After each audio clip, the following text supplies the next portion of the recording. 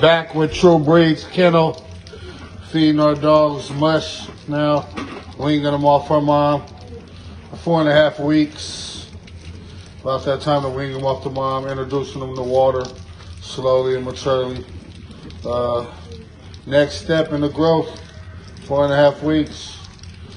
Got, a beautiful, beautiful dog. This one right here is one of our uh, Merle boys. Another Merle boy. Uh, this is a boy, we call him Big Blue. We got purple, purple rain right there.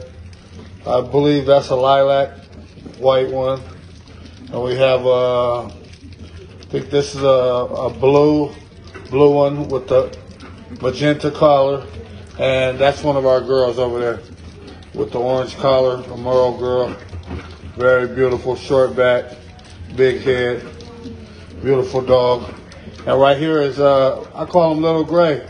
He's short, compact, little. Got some nice, nice coat on him. Lilac, beautiful dog. All of our dogs is real beautiful dogs. Good temperaments. Raised good. Been feeding them off of mom longer than they should have. So they're going to be extra healthy. All AKC certified. Top tier. Isabella carriers. Their dad was a new shade Isabella. So they carry, they all carry Isabella carriers. Definitely. So if you're looking for a dog, tap in. True Breeds Kennel. All the way up, all the way out.